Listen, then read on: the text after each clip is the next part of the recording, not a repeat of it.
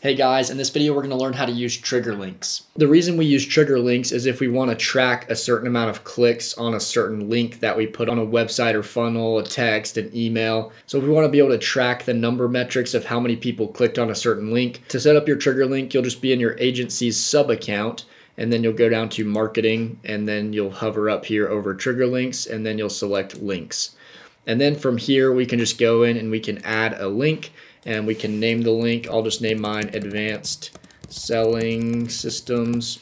And then the link that I want to track is just my website. I want to track advancedsellingsystems.com.